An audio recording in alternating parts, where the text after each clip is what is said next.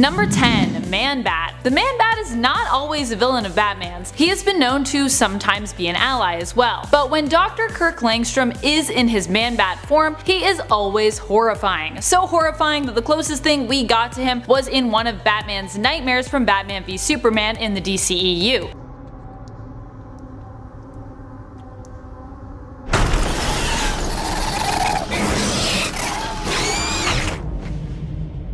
However, this wasn't really specified to be Man-Bat specifically. Dr. Langstrom aimed to create a serum to help the deaf and blind, but accidentally made a serum that also transformed anyone who used it into a giant bat-like creature. Both he and his wife suffer from its effects at one point, becoming the Man-Bat and She-Bat respectively. It would be cool to see a horror-style Batman film featuring these two monstrous and sometimes villainous characters. Number 9. Solomon Grundy While he's appeared in lots of animated films, Solomon Grundy has yet to make his debut in the live-action action world of the DCEU. This could be because of his monstrous appearance. Solomon Grundy is a zombie-like villain who sometimes ends up as a hero depending on the circumstances. He has a Frankenstein type vibe to him as well, which likely makes him too monster-like for the likes of the DCEU. Although there are so many horror-inspired characters and villains in DC Comics that would be cool to see if that genre made its way more into the films. Horror DC, I would watch those movies.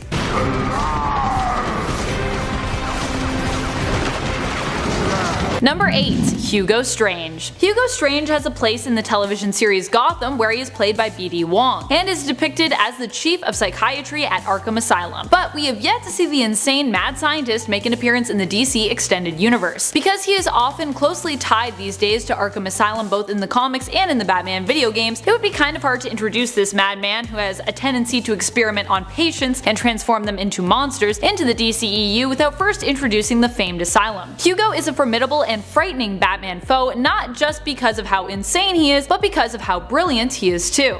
It's a perfect plan. With this machine, I can imagine Batman to be anyone I choose and these fools will pay a fortune for it. He was even able to use his smarts and deductive reasoning to uncover Batman's true identity. Number 7.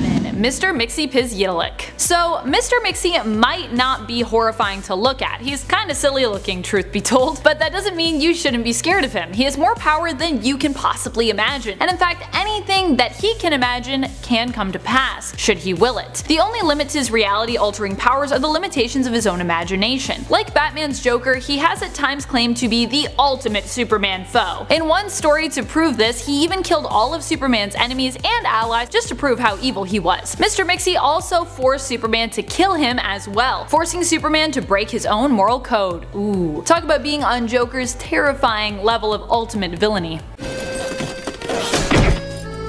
Oh, I don't feel so good but it's still worth it. Number 6. James Gordon Jr. He might not be on Mr. Mixie's level in terms of his power set, but James Gordon Jr. is one terrifying and creepy villain. As his name implies, he is related to Commissioner Gordon and is in fact his son. Surprisingly, James is not like his dad and grows up instead to become a psychotic serial killer, exhibiting early warning signs from a young age that there is something very wrong with him. He used to pick apart and torture animals and was suspected as being involved in the disappearance of one of Barbara's friends, Bess Keller, though nothing was ever proven. He ends up returning to Gotham and is revealed to be a full-out serial killer who enjoys torturing his victims to death in Black Mirror. Later on, he ends up joining the Suicide Squad and becomes the team's strategy analyzer. Man, I would not want to work with James Gordon Jr. on the Suicide Squad. I'd be like, Ugh. No thanks. Number 5. Papa Midnight. Papa Midnight is a villain to John Constantine for the most part. Sometimes he's an ally, but more often he is not, as the man is obsessed with power and is a pretty bad dude. Papa Midnight grew up in Trenchtown, Jamaica. Born Linton Midnight, from a young age he became inspired by tales of dark magic that his parents had told him. He betrayed a group of slaves, conning them into believing that they would be protected if they rebelled, which led to their deaths, and later went on to sell his sister's soul into demon slavery, so that he could achieve more power power for himself through using her soul as a barter chip, selling it to the demons of hell. Ooh. Considering how violent and insidious Papa Midnight is, we likely won't be seeing him in the DCEU, although he has managed to make an appearance in the CW Arrowverse, which is pretty impressive.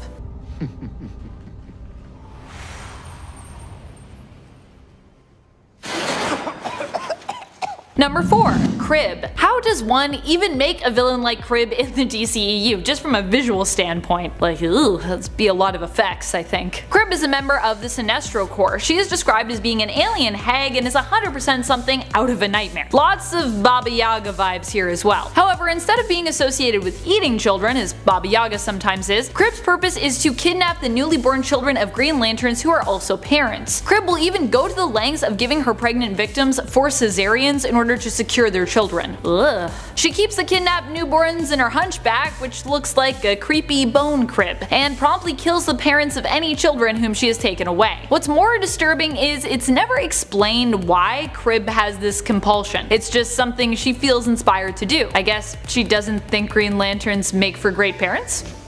She's like, I'll be a way better parent to these babies with my weird bone crib. Super qualified. Number 3. Dollmaker. Dollmaker has a horrific origin, which makes it hard to introduce him without going full horror film mode. When Barton Mathis was young, he would go camping with his father who it turns out was a serial killer. While camping, Barton would not only witness his father kill people, but also commit acts of cannibalism. He also saw his father killed when apprehended by the police. Years later, Mathis would grow up to be a gifted but deranged surgeon who was obsessed with using his victims' body parts to craft dolls. He wears a mask made of human skin and was the one one who helped Joker to remove his face during the lead up to the death of the family storyline. Number 2. A Black Lantern Corps. One of the most terrifying villain groups both appearance wise and in terms of their threat level is the Black Lantern Corps. Of course, this would be a hard supervillain group to introduce being that we'd likely need Green Lanterns to be on the scene to help explain, well just who the Black Lantern Corps are and why we should care about them. After all, you can't defeat the Black Lantern Corps anyways without the entire emotional spectrum of lanterns assembled to help create that White Lantern power. This threat might also just be too huge and horrific to make an appearance due to the sheer size of their numbers. In the Blackest Night storyline, they were like an overwhelmingly sized zombie apocalypse level of threat, killing heroes and resurrecting them to join their deadly ranks. Number 1. Batman Who Laughs. It might be a little too confusing for the DCEU to introduce the Batman Who Laughs, as that would mean they'd likely have to involve the dark multiverse somewhere in their films, and the dark multiverse is likely too dark even for DC to make that happen on the big screen. The Batman Who Laughs is an alternate version of Batman who was infected by Joker Venom after being pushed too far by the villain causing him to lash out and kill the Joker, snapping his neck. This caused Batman to become infected, driving him insane and causing him to take down his own world's Justice League and kill his own Bat family, save for Damian Wayne, who he convinced to join him. He's one of the biggest bads in DC's current storyline. Number 10. Court of Owls. The Court of Owls is a villainous and powerful group who seek to exert and wield political influence in order to shape the world as they choose. They are enemies of Batman and often use their group of highly skilled assassins known as Talons to eliminate those who stand in their way. These assassins are also immortal to an extent, as they are often imbued with a metallic alloy known as Electrum, which has astounding healing properties and can even reanimate and resurrect dead tissue. The Court of Owls was created by Greg Capullo and Scott Snyder Snyder, first appearing as adversaries to Bruce Wayne in the 2011 Batman series in issue number 2.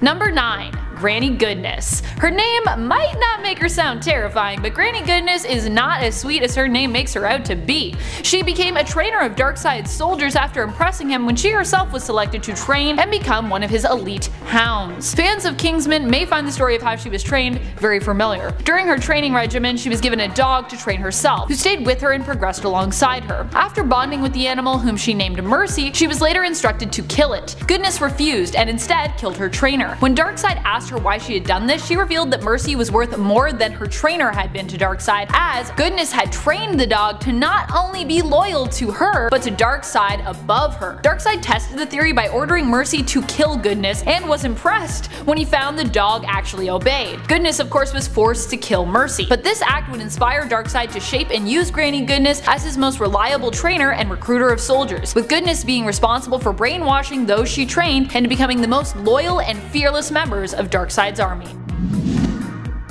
Number 8. Black Flash. In the comics, Black Flash acts as a symbol of death, and also sometimes as literal death for the speedsters. You see, the former Flashes and past speedsters have all been too fast for regular death to touch them, and so it seems instead they have their own version. Enter the Black Flash. The Black Flash draws power from the Speed Force like many of the other speedsters we've seen. This being is able to freeze time, but only for those who do not possess potent super speed powers. It resembles death in appearance, looking like a corpse of a zombified version of the Flash. While Black Flash has appeared in the Arrowverse, this Speed Force entity has yet to appear in the DCEU. Number 7. Mandrakk the Dark Monitor. Mandrakk is a pretty confusing entity, but also a fairly scary one. Mandrakk was once, or is, depending on what you believe, Dax Novu. And Dax Novu was once part of the Monitor. Following the events of Crisis on Infinite Earths, the injuries the Monitor had suffered caused it to splinter somewhat, dividing its body and creating other, smaller monitors. Dax Novu was one of these monitors. He eventually realized that the monitors were parasitic beings who were feeding on the energies of the multiverse, slowly consuming and destroying it. He informed the other monitors of this, but was shunned for attempting to share his realization. Dax then became corrupted, turning into a dark monitor known as Mandrakk. While we might eventually see the Monitor and Anti-Monitor make their way into the DCEU films, it's unlikely we'll see this Dark Monitor pop up anytime soon. Number 6. Anti-Monitor. Speaking of monitors, we should also quickly touch on another scary and powerful one, sort of the scary and powerful one, the Anti-Monitor. Anti-Monitor is a supremely powerful villain who threatened the very existence of the multiverse during the events of Crisis on Infinite Earths. He controlled the antimatter universe, and is hell-bent on ensuring the destruction of all things. So much so that even after Anti-Monitor is defeated, Nekron ended up trapping the Anti-Monitor's body, and as it was later revealed in Blackest Night, using it as a source of power for the Black Central Power Battery. While we might get a sort of crisis-inspired storyline in the DCEU with all different alternate universes and timelines from DC in television and film being acknowledged, it's more likely that they'll go the Flashpoint route as opposed to the Crisis on Infinite Earths route. Number 5. Dr. Death. The most recent incarnation of Dr. Death from Prime Earth was only around for 5 issues, so it's not just his horrific story and appearance that will likely bar him from appearing in the DCEU. It's also just that he isn't really one of the main villains. He doesn't have as much clout. However, in the few issues we did see him in, he proved to be a terrifying villain and foe. Dr. Karl Hellfern was a brilliant scientist working for Wayne Enterprises on a serum that would strengthen bones, causing them to become more durable instead of breaking when under stress. However, his failed attempts combined with other mental trauma and strain caused him to go insane. He killed his scientific team, injecting them with a failed version of the serum that caused their bones to grow until they were ripped apart. Number 4. The Corinthian. The Corinthian isn't specifically from DC directly itself, but is from an imprint of theirs that used to be known as Vertigo. Well, it's still known as Vertigo, but it no longer exists. It was discontinued and instead we got Black Label, which is also an amazing line, but everyone was obviously still sad to see Vertigo go. One of Vertigo's most famous series was Sandman, which also featured some of DC's characters who made cameos throughout. The Corinthian, however, was not one of these, but is a character unique to the world of Sandman. While we are getting a Netflix series for Sandman in 2021, I also think it would be super cool to get some darker toned DC films. Among them, it would be cool to get some Sandman or at least a Sandman film. Although the Corinthian might be too monstrous to actually make an appearance, even if we did get a Sandman film. He is one of the nightmares that Dream made. At one point, he escapes the dreaming and ventures out in the world, where he becomes a serial killer who pulls out and eats his victims' eyes. He himself has mouths where his eyes should be and usually wears sunglasses to disguise his monstrous appearance. Ugh eating eyes. It allows him to see everything that you've seen, which is, uh, gross still. No, still gross.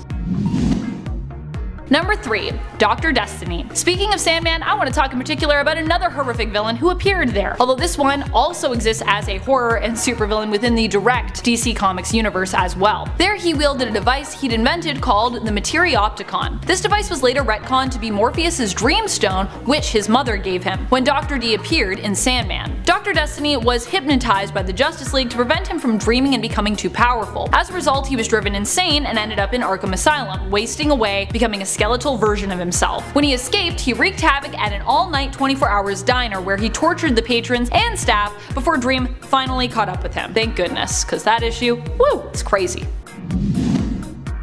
Number 2. Professor Pyg. Professor Pyg's real name is Lazlo Valentin. He is a former Spyral agent who went insane and became obsessed with curing people of their individualism in order to perfect them. When the crime syndicate temporarily took over Earth, Gotham City was overtaken by the criminals who ruled in Batman's absence. Pyg himself used the hospital as his own HQ and worked from there, kidnapping civilians, sedating them, and transforming them with strange, cosmetic, and mutilating procedures, using involuntary patients to create his own horrific Dollotron army. He was created by Grant Morrison and Andy Kubert, and also first appeared in 2011's Batman series.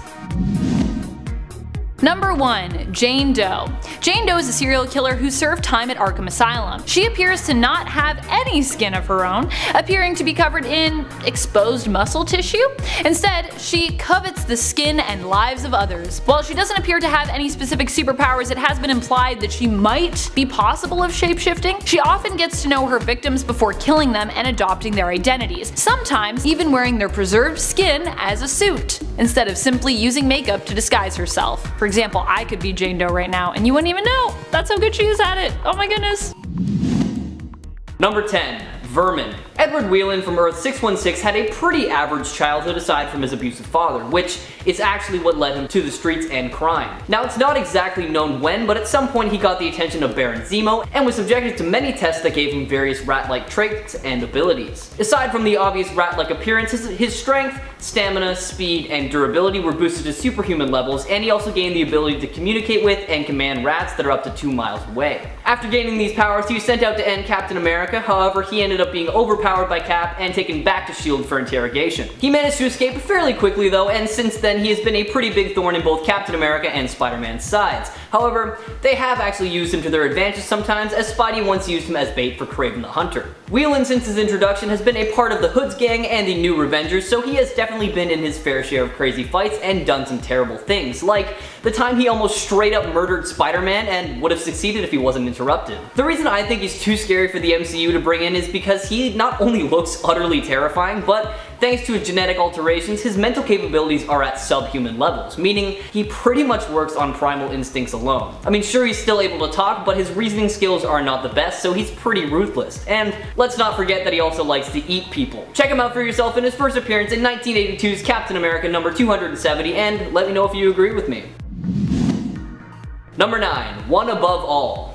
Residing in the lowest depths of the underworld known as the Below Place, the One Below All is the dark counterpart of the One Above All. It is the source of the mutagenic third form of gamma energy, which allows it to use gamma mutates to manifest itself whenever it feels it's necessary. The One Below All is actually what gave the Hulk his powers in the first place, as the Gamma Bomb test partially opened the green door that Below was kept behind. Fast forward through some really cool events that you should definitely check out for yourself, and we see the one below all possess the bodies of Brian Banner as the Devil Hulk, Walter Langkowski as Sasquatch, and the Absorbing Man, which led to the final battle of the Immortal Hulk arc. Revealing its true form, a giant green cloud of crazy gamma energy, the one below all torments the Hulk so much that Bruce Banner and the Hulk actually separate. However, Absorbing Man was able to reroute the gamma energy the demon was using it back into the Hulk's body, and with one powerful thunderclap, the one below all was stopped, at least this time anyways.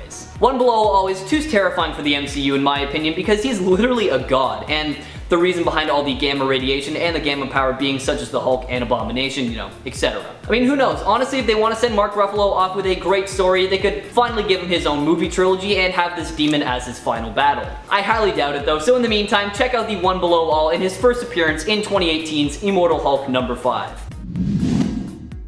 Number 8. Nightmare. This supervillain is basically the Freddy Krueger of the Marvel Universe, and if just knowing that isn't scary enough for you, then buckle up. Classified as a Class 3 demon able to capture a sleeping person's astral form, Nightmare's whole thing is he's able to bring their form into his realm to torture them, and the effects of that can last for hours even after they wake up. Nightmare has been a major pain for many heroes in the Marvel Universe, including Peter Parker and the Hulk, and none more so than Doctor Strange. That poor guy seems to get the biggest and baddest baddies out there, but I guess that's the price you pay when you're the most powerful sorcerer. Strange has made it clear that he makes a regular habit of casting a protection spell before he goes to sleep, so he does not have to go toe to toe with this villain. Later in this character's run, we see Nightmare growing stronger by the minute, able to access human minds through the American dream alone, and he caused these people to go on a violent rampage until he was finally stopped by Captain America and S.H.I.E.L.D. Skip ahead a little bit more and we actually see the death of this character up against Loki, in which the trickster god used one of Iron Man's automated cars to just straight up flatten Nightmare. So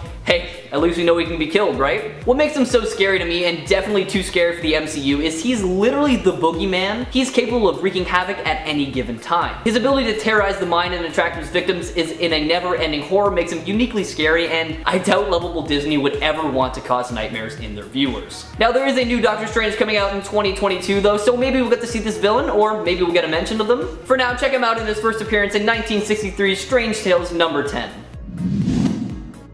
Number 7. Shumagorath. Older than time itself, Shumagorath is essentially Marvel's take on a Lovecraftian eldritch horror. It is an unknown cosmic entity that used to run Earth before we pesky humans came along, so as you can imagine, Shuma takes offense at this and often comes back to reclaim his old stomping ground. Doctor Strange is more often than not the only one who can actually fight this thing without completely losing his mind in the process, but as cosmic beings are known to do, it can never really be truly killed. It is considered to be the primal power of chaos and the greatest of the old ones, and aside from immeasurable strength, Shumagorath is also capable of creating powerful blasts of mystical energy that can literally wipe out planets.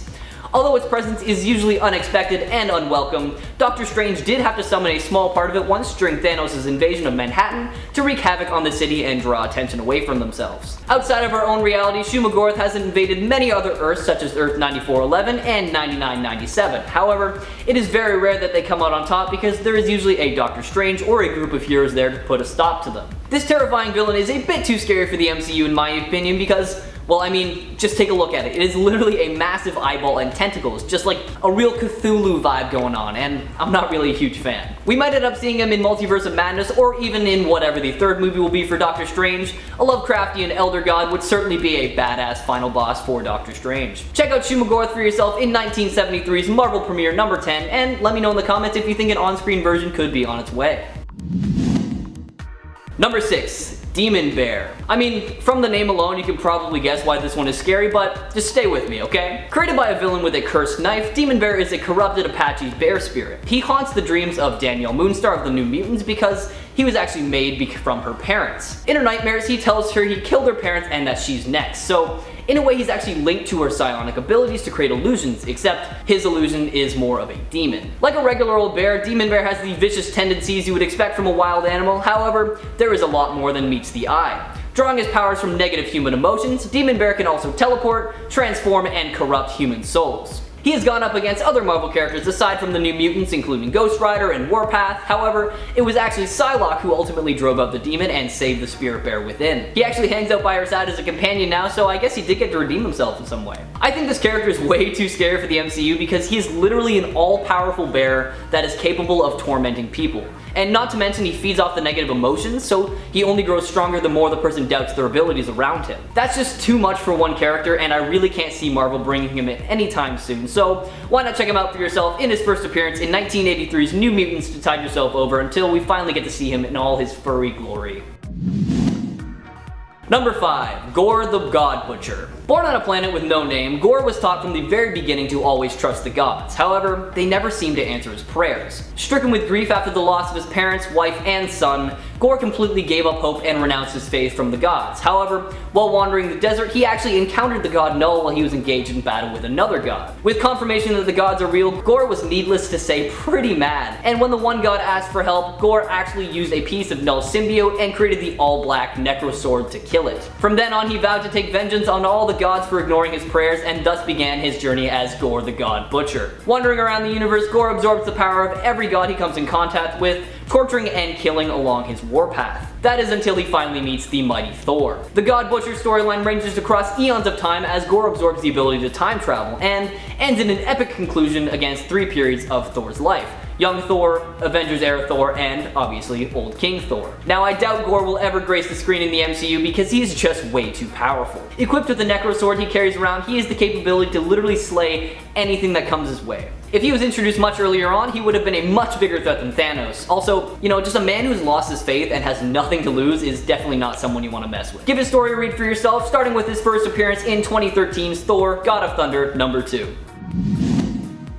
Number 4, Annihilus. Known as the Living Death that walks or the Lord of the Negative Zone, Annihilus is an insect-like creature with some truly insane power. He was exposed to an object called the Cosmic Control Rod which extended his lifespan and gave him his powers. These powers include continuous rebirth, superhuman levels of strength, speed, durability, and stamina, and flight of course. Obsessed with protecting the rod, he did absolutely everything he could to keep it from everyone else until the Fantastic Four took it away from him. Annihilus has at various times been the ruler of the negative zone, controlling its inhabitants via his powerful cosmic control rod. He first encountered the Fantastic Four after Reed Richards discovered how to travel to the negative zone from Earth. Over the years, he clashed with the Fantastic Four on many occasions, often with the group foiling his plan to invade Earth. He would later lead an enormous fleet of spaceships from the negative zone into the main universe, setting off the annihilation wave by destroying a ton of planets. The Armada was opposed by a number of cosmic heroes such as Star-Lord, Drax the Destroyer, and the Silver Surfer, and was thankfully stopped by the cosmic entity Galactus, with Nova killing Annihilus in the process. He was later reborn as an infant in the aftermath of the Annihilation storyline. But other than that, we have seen Annihilus go up against the likes of many other heroes, and he has been a worthy adversary to say the least. Now, I doubt we'll see this character in the MCU anytime soon just due to their immense power and ability to literally broadcast intense fear into the others, the likes of which has even been able to shake the Hulk. It's possible that we'll see them later on once more powerful characters such as Nova and Adam Warlock are introduced, but they are too big a threat. Give their story a read for yourself, starting with 1968's Fantastic Four Annual number 6.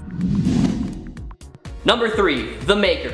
Now, unlike his Earth 616 counterpart, Reed Richards is about 20 years younger, born into a completely normal family, and uh, God, what was it? Oh yeah, he's insane. Now, I'll try not to spoil too much of the story for you because I really think it deserves a read, but I will do my best to give you just the basics. Following an explosion that left Richards presumably dead, the Fantastic Four mourned his loss, but in reality, he's actually alive and well, and he actually set off the explosion himself and was responsible for a ton of other attacks around the city. Convinced that he knows how the world should be run from now on, he is willing to do whatever he thinks is right, regardless of the consequences. Thankfully, he is stopped by a group of heroes and he is flung into the negative zone. But it didn't take him too long to get back though, and he easily took over most of Europe. Fast forward a little bit and we see him form the Dark Ultimates, but they were quickly defeated by the power of the Infinity Stones. Teaming up with Cabal of Earth 616, Richards was able to manipulate the Ultimates into prematurely attacking the Earth, and do I got you interested in the character? Good. I'll leave the rest of the story for you to read for yourself. What makes the Maker so terrifying is that he is so intelligent that there is really no way of defeating him, and since he has the ability to literally stretch his brain to make himself even smarter, he is always 10 steps ahead of you no matter what you do and what you think. Of course, we don't even have the regular Mr. Fantastic in the MCU yet, so even if they have been considering integrating this character, this character's introduction is definitely far off. Give a story a read for yourself, starting with 2004's Ultimate Fantastic Four number 1, or feel free to just skip ahead to when he is the maker by taking a look at 2011's Ultimate Comics Ultimates number 1. Number 2. The Skinless Man. If you were ever wondering why they called Wolverine Weapon X, well, Here's your answer. It's not an X, it's actually the Roman numeral for 10. Now with that in mind, meet weapon number 3, the Skinless Man. Harry Pyre used to be a barrister during the Cold War, and he was actually very good at his job thanks to his mutant power, elastic and multi-sensory skin. Designated weapon 3 by the Weapons Plus program that augmented his strength and powers, Pizer went on to do some pretty terrible things, and all of that finally caught up to him when Phantom X shot him, stole his skin, and left him for dead. Now with no skin, Pizer took revenge on Phantom X by cutting off his face and was later recruited into the new Brotherhood of Evil Mutants while he was on the run from that. Once again though, everything seems to catch up to him because in 2013's Uncanny X-Force number 34, he meets an untimely end and he's not really been seen since. I could go into all the other horrific stuff this guy has done in the comics appearances, but do I really need to? It should be plainly obvious that there will never be an MCU version of the skinless man out there. He has no skin, and his whole thing is literally putting you in a similar predicament as him. That just seems to me like you've got a formula for a character that will forever be stuck in the pages of a comic book. I also understand that he is prominent in the X-Men universe, which is not necessarily the MCU, but it's fine. I'm definitely not far off when I say that there is no way they would use this character even if they had the rights to him. Check out his story for yourself in his first full appearance in 2012's Uncanny X-Force number 21. And finally, number one, we have Arcade. Nobody really knows who or what Arcade was before his life of crime. He has given so many different accounts over the years with no evidence to prove any of them. The one that seems the most true is that he killed his father when he was 21 in order to acquire massive amounts of money, and he discovered that he really liked killing so he became an assassin. However, he soon got really bored with that and decided to use his wealth to construct a death-themed amusement park to kill people. As a skilled killer, Arcade has been tasked with killing many heroes over the years such as Spider-Man, Ghost Rider, and many X-Men as well. But all of his attempts have ended in failure. On his 29th birthday, he learned that he was a huge laughingstock in the villain community, and this made him realize that what he'd been doing is no longer a game, and that winning from this point on is everything. Using his genius level intellect and his vast fortune, he constructed a new Murderland and trapped 16 teen heroes in it for a month, toying with them and prodding them. However, they were eventually freed and Arcade was last seen tied to the front of the SHIELD helicarrier as a form of torture for everything that he had done. What makes him terrifying to me is that he's all about mind games and toying with people, which basically makes him the Marvel equivalent of Saw. He knows exactly what to do and say to get people to gang up against each other, and he has the knowledge and resources to execute any plan. That is way too much power for one villain to have, especially a movie villain, so I feel like we won't get to see this character on the big screen anytime soon. Number 10, Styx. Starting off the list today with a pretty terrifying mutant.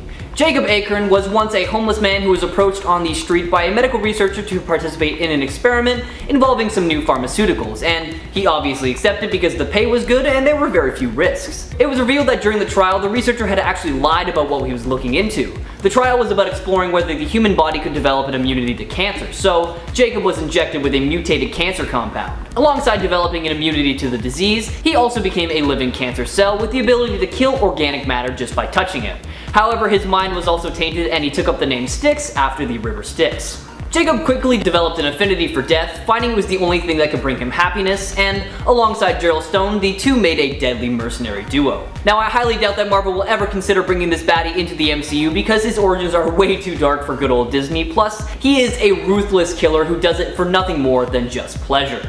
So for now, check him out in comic book form in his first appearance in 1988's Amazing Spider-Man number 309. Number 9. Bullseye. Known as the Mercenary of Mystery, Lester, insert name last year, might not have any powers, but that by no means makes him any less terrifying. Lester has always been a master marksman, and before his mercenary career, he tried his hand at Major League Baseball, but quickly grew bored with it because he was constantly pitching perfect games. However, he quickly found his true calling as a special operative of the United States National Security Agency.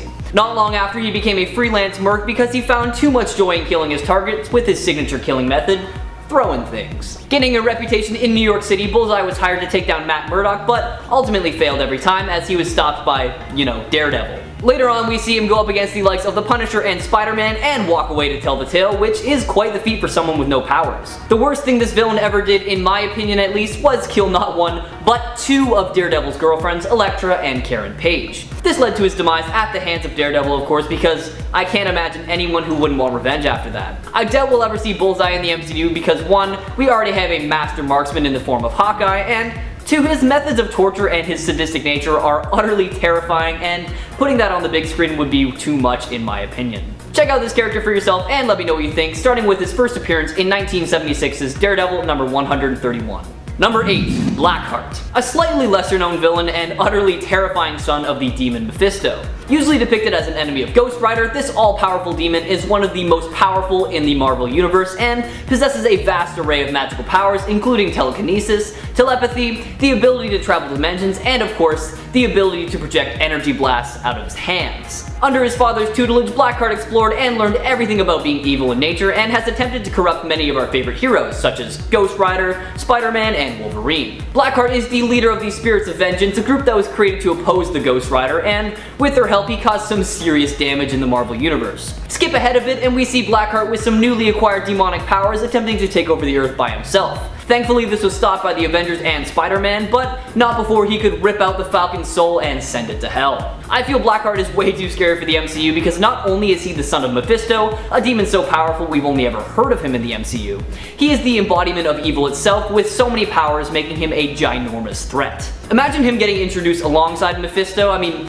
any fight against the two would be over in the blink of an eye. Give Blackheart's origin a read for yourself, starting with 1989's Daredevil number 270, and let me know if you think he could ever make it on the big screen one day in the comments below. Number 7. Galactus. Another villain that has been off limits to the MCU for quite some time thanks to his ties to the Fantastic Four, which has made so many fans around the world fear they would never see him on the big screen. Galactus is the sole survivor of the sixth incarnation of the multiverse. Originally, Galactus was a humanoid named Galan, born in the previous incarnation of Earth-616 on the planet Taa, a paradise-like world whose civilization is said to have been the most advanced of any known universes at the time. However, the Six Infinity and all its universes were in their final stages of collapse due to the multiversal renewal cycle, being consumed by the abstract entity known as the Black Winter. Fast forward a bit to him becoming a cosmic entity. Galactus possesses almost limitless cosmic power that gives him a vast array of powers that would take me forever to list off for you guys. It is actually ridiculous. With his insatiable hunger for energy and his heralds of Galactus by his side, the almighty being is an almost unstoppable force capable of pretty much anything. Like, seriously, he's not called the Devourer of Worlds and the God of Oblivion for nothing. Do I really need to explain why Galactus probably won't appear in the MCU? I mean, at least anytime soon. The dude eats planets, and as it stands right now, there aren't many heroes in the MCU that can help take down such a big threat. It would be super cool, and I would honestly freak if I ever saw him in a movie one day, but it is so unlikely right now just due to his sheer power and presence. Check out Galactus for yourself in his first appearance in 1966's Fantastic Four number 48. Number 6. Mojo. Just looking at this guy gives me shivers up and down my spine. Mojo is a part of an alien race from a planet known as Mojo World that resides in a pocket dimension known as the Mojoverse. He is a powerful sorcerer whose full power is unknown, and outside of his homeworld of Mojo World, Mojo possesses the ability to create anti-life energy fields that kills any natural organism, he can project concussive blasts, and he can even increase his own power through television ratings. Mojo has been seen manipulating so many characters in the Marvel Comics, including Rachel Summers, who he got to work for him for a while, but once she broke free, he took matters into his own hands and decided to create his own versions of the X-Men to serve under him, and thus the X-Babies were born.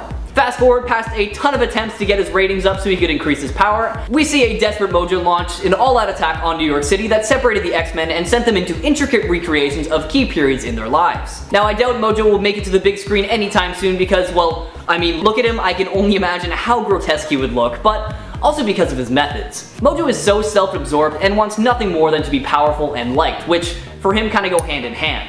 So he'll do anything and everything and get rid of anyone who stands in his way. Check out Mojo for yourself, starting with his first appearance in 1985's Longshot number 3, and see if you agree with why I doubt we'll ever see him in the MCU. Number 5. Dracula. A lot of you are probably looking at your screen right now like, Jack, are you sure you know what you're talking about? Dracula has played a pretty decent role in a lot of Batman stories, but this is Marvel. Well, you might be surprised to find out that Dracula has been a pretty prominent figure in the Marvel Universe for quite some time. Like most iterations, Vlad Dracula is the supreme ruler and the world's most powerful vampire. Driven by lust for power, companionship, and blood, his centuries of undead existence have brought him into a conflict with vampire hunters, other immortals, and, more recently, superpowered heroes. Born in 1430, Dracula didn't become the vampiric overlord until 1459, after he was beaten in battle by the Turkish warlord Turac, and was taken to Egypt to be healed. However, it was revealed that he actually turned into a vampire. With newfound vampire powers such as superhuman strength, speed, and agility, a regenerative healing factor, hypnotism, and weather manipulation, Dracula wreaked havoc for centuries with few that could oppose him. Fast forward many, many years to modern times, and we see Dracula go up against the likes of Blade, Johnny Storm, Mephisto, Thor, and even tried twice to make Storm a vampire so she could become his bride. I can't imagine that Disney will ever give the green light for this character because a blood-sucking, all-powerful vampiric villain doesn't really fit with Disney's style. Not to mention that they don't really like to make R-rated movies, and that is the only way this character would work. Appearing for the first time all the way back in 1951, Suspense number 7, why not familiarize yourself with Dracula just a bit more? Number 4, Shadow King. Had to include the Shadow King on this list because he wasn't on the last one and he is too good, or I, I guess bad, to leave out. He is allegedly a multiversal manifestation of the dark side of the human consciousness that came to be after the first ever nightmare. Operating through Amahl Farouk, who acts as his human vessel, the Shadow King is stated to be a true Omega telepath, making him the most powerful telepath on Earth besides Charles Xavier, as he has been shown to overtake some of the most strong-willed characters like Black Panther and Genta without them even being aware of it. Shadow King was actually the one responsible for the Psy War, when he tricked Psylocke into causing a massive wave of energy that destructed psionic powers across the world. However, he ended up stretching himself a little bit too thin attempting to link with all the minds on Earth, and was defeated by Psylocke in her new Shadow astral form. This wasn't actually the end for him though, as he was around well after Charles Xavier's death, he even possessed his body for a while. Shadow King has appeared over many Earths in the Marvel Universe, taking a different evil form each time, such as on Earth 6141 where he merged with Professor X becoming Shadow X, or on Earth 1298 where he also took over Charles Xavier and became Onslaught. I can't imagine Marvel ever putting the Shadow King on the big screen because he is far too big a threat. It seems impossible to actually get rid of him without another being whose powers are on par with him, which is actually what happened in the comics when Professor X and Psylocke teamed up. Check out this multi-universal being for yourself, starting with their first appearance in 1979's X-Men number 117. Number 3. The Brood. The insect-like alien race that travels through space with the goal of finding hosts to infest with their spawn. Yuck. Brood societies work similar to how an average bug colony works, with them living in clans or swarms that serve under the Empress Brood. They're a truly savage race that not only enjoy the suffering that they cause others, they also revel in the terror that their infections cause their hosts. They don't technically have any powers, but they are incredibly resistant thanks to their exoskeletons, they have tentacles that are capable of long range attacks, and they use their razor sharp teeth and stingers in, in, close combat to deliver either paralyzing or fatal poison. The Brood have been seen on Earth many times throughout Marvel history, going up against the likes of Carol Danvers, Wolverine, Fang, and a large number of the X-Men as well. Sometime after their initial appearance on Earth, a mixed team of X-Men and the Fantastic Four discovered that the Brood Queen and her squadron were leading an attack on Earth, with the first of the bunch arriving in New York City, but thankfully they were stopped rather quickly thanks to a Cerebro-enhanced Emma Frost. They have been seen around since, but I'll let you discover what happened for yourself. Now I really can't see Marvel bringing this alien race to the MCU as they are anytime soon. Maybe if they weren't partnered with Disney they would be willing, but I can't imagine their parent company would be cool with a bunch of malicious insect-like creatures getting people pregnant Predator style. Check out the Brood's first appearance for yourself in 1982's X-Men number 155. Number 2. Demogoblin. Jason Macendale Jr. had had enough of losing against Spider-Man and the Green Goblins, so in their quest for the power that he craved, he ended up following a bunch of demons back to their lair to confront their Dark Lord. Impressed with his efforts and will, the Demon Lord bestowed upon him superhuman abilities through a demonic possession. However, the demon proved to be incompatible and ended up ripping away from his human host and began living separately as the Demogoblin. Determined to destroy all sinners and redeem himself, the Demogoblin went up against the likes of Spider-Man, Ghost Rider, Venom, and even Jacob Macendale Jr. because they were the only ones willing to stand in his way. After the Demogoblin's initial death from a church pillar crushing him, he was resurrected by Carnage using Shriek's body as a new vessel, and dubbed himself the Dem-A-Goblin now. Alongside her new BF Carnage, she traveled around with Manwolf to hunt down Misty Knight, and she would have killed Misty Knight if it weren't for Manwolf intervening. In a more recent storyline that takes place after Dark Carnage's death, Demogoblin started calling herself Saint D and basically started her own religion. Considering that Carnage is too scary for the MCU to bring in and that they play such a large role in the Demogoblin story, it makes sense that this character wouldn't be introduced anytime soon. Not to mention that they are totally fine with killing and do whatever they think is necessary. Take a look at this terrifying creature for yourself in their first appearance as the Hobgoblin in 1989's The Spectacular Spider-Man number 147, or feel free to skip ahead to their time as the Demogoblin in 2019's Absolute Carnage Lethal Protectors number 1. Number 1, Knull the Symbiote God once an ancient malevolent deity whose existence predates the universe itself, and was originally content to just drift through the endless abyss that existed before time itself. When the Celestials started creating the universe, Knull was awakened by the light of creation and was pretty pissed because his kingdom of darkness was pretty much ruined. After killing one of the Celestials, he was cast back into the void once again, and then he created a symbiotic suit of armor out of the darkness he commanded and started his journey across the universe with the goal of getting rid of the other gods for good. The only weakness that Knull has is against the light, which refers to the various powers that are wielded by the cosmic entities. Knull is the one responsible for the creation of these symbiotes that we're all familiar with, you know, the ones that make up Venom and Carnage. He's the reason we have two of the most terrifying villains in the Marvel Universe, and that alone makes me want to go nowhere near him. Not to mention, he's the one who gave Gorr the God Butcher All Black the Necrosword. Historically, we've seen Knull go up against Silver Surfer and so many gods, coming out on top every time, and then in modern times, we have seen him go up against symbiote users like Venom and Spider-Man. I can't imagine we'll get to see Knull in the MCU for a couple of reasons, the biggest being that Venom isn't in the MCU, but that's not my whole argument, don't worry. Knull is a literal god capable of pretty much anything that he sets his mind to, and he is powerful enough to create symbiotes and beings that can overpower any of the heroes that we've seen both on and off of the big screen. He's too much of a threat right now, but that doesn't mean that I'm not hoping he'll show up one day. Trust me, I really want him to be there. For now, read all about the symbiote god for yourself, starting with their first appearance in 2018's Venom Volume 4, Number 3. Number 10, the Fury. Generally depicted as an enemy of Captain Britain and the X-Men, the Fury is a deadly android built by the reality-manipulating psychic Mad Jim Jaspers of the parallel timeline of Earth 238 to destroy all superhumans but himself. Since it's not a living being, it doesn't possess any superpowers, however it's ridiculously strong, can generate lethal energy blasts, is capable of adapting to any situation, and can regenerate its mechanical body at will. Most of the Fury's enemies on Earth 238 were based on British comic book characters from the 1950s to the 1970s. After succeeding in its mission, the Fury was deactivated until Captain Britain and his elf sidekick Jackdaw were sent to Earth 238 by the Captain's mythic mentor Merlin. The status crew and forces working for the country's oppressive regime reactivate the Fury and send it to kill the hero and it murdered Jackdaw and then killed Captain Britain. After a little bit, it traveled to Earth 616 and continued killing many of Captain Britain's allies until it was eventually taken down and buried in the cave system of Captain Britain's mansion, where it absorbed the circuitry of the computer and repaired itself. There's a bit more to story, but hey, I don't want to spoil it all for you guys, so give it a read for yourself, starting with 1982's Marvel Superheroes UK, number 387.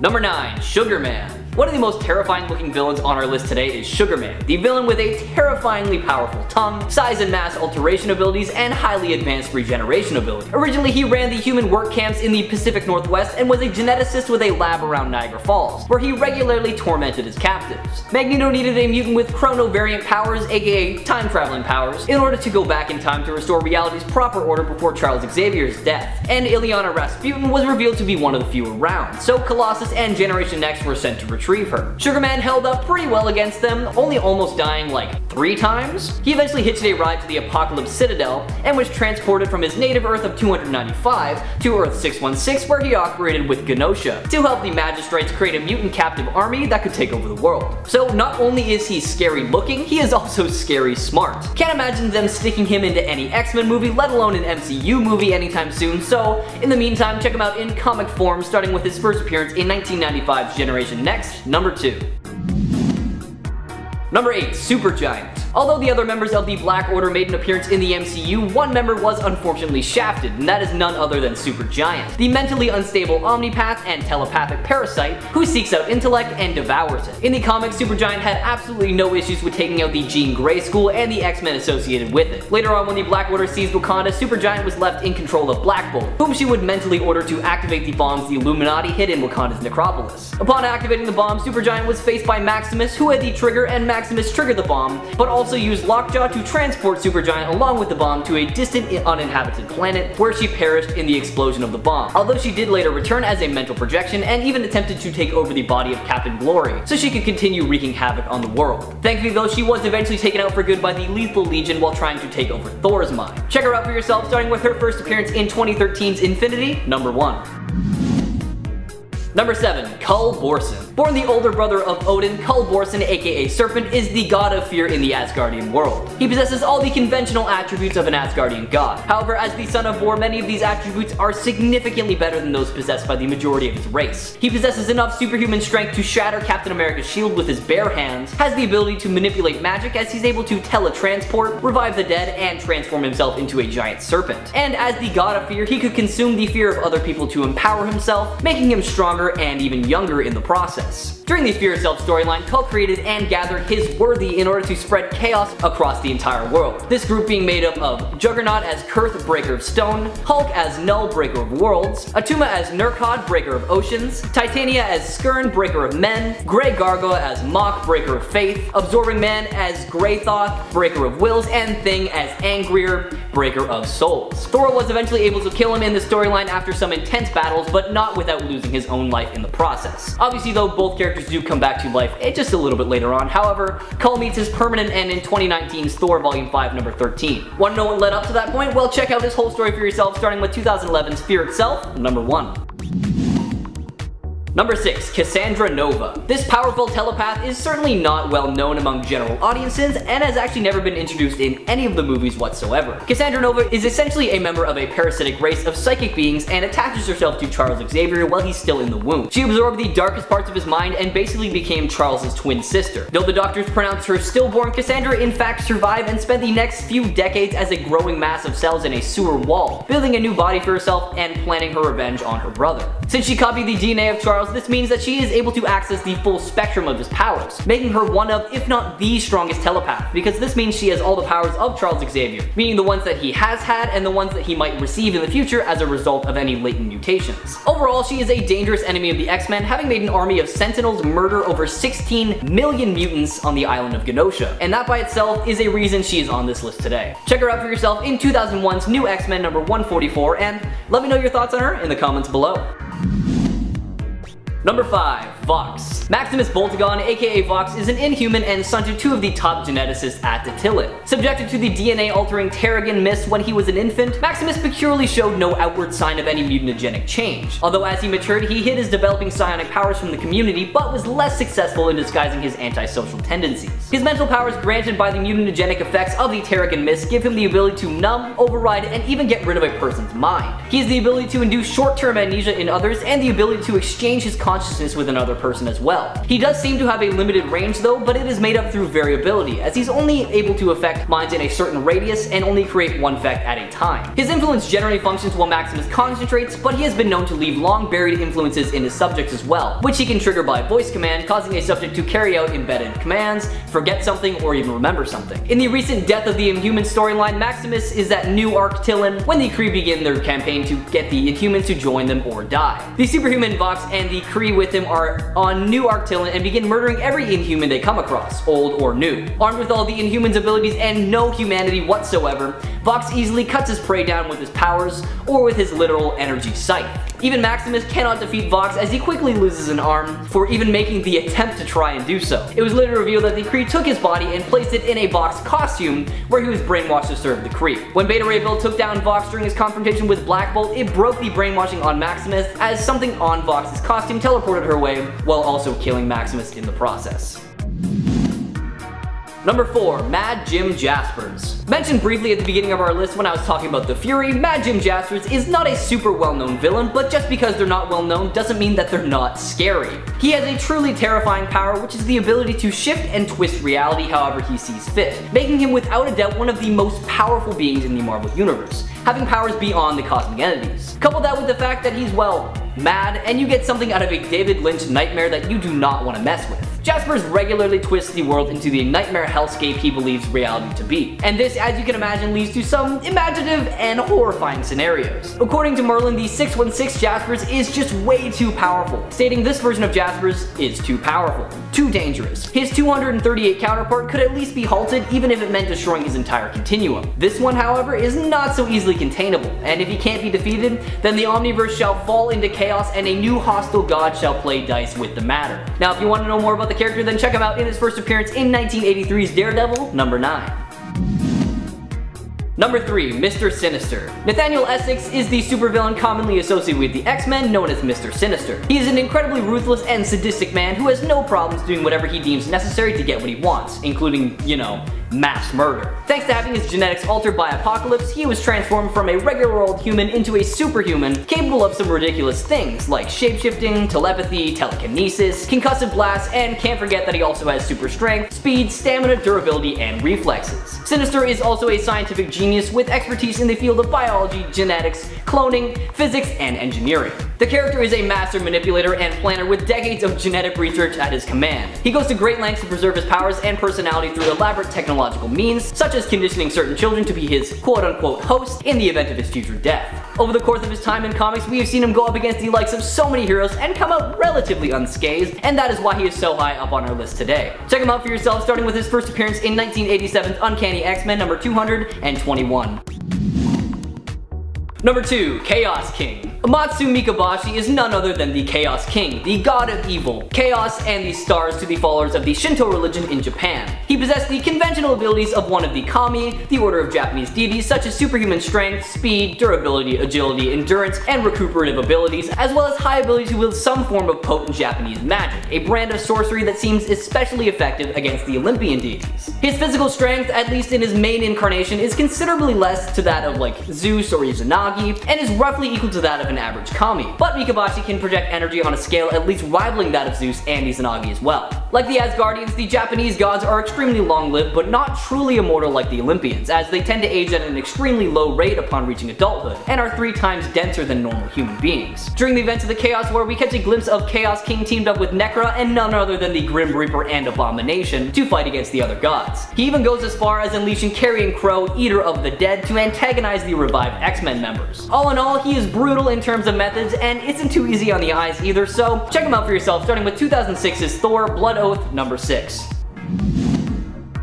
And number one, the first firmament. At the very beginning of it all, there was only one universe, the first firmament. For a long time, the first firmament was the sole being in creation until its loneliness became unbearable and it decided to create the first life in creation to give itself companions as well as servants, which it eventually came to regret. It created two specific types. Black servants dutifully obeyed and worshipped their creator, and then the multicolored ones had completely different values and desires as they wanted a dynamic, diverse, and continually evolving reality, where being beings lived, learned, reproduced, aged, and died in order to slowly improve themselves through evolution. Unfortunately for them, when the creations argued with their creator, they were destroyed completely. Now one can only imagine what might happen if an entire universe were to turn evil, but this is the answer to that question, since the first firmament became the evil that many people worry about. Just imagine an evil sentient galaxy that could destroy pretty much anything with just a gesture. Absolutely terrifying and way too much for the MCU. Check it out for yourself in its first full appearance in 2017's Ultimates 2, Volume 2, number 5.